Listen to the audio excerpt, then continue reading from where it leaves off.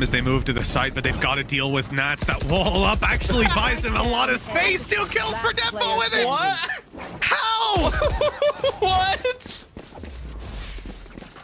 I've, I've never seen one, let alone two.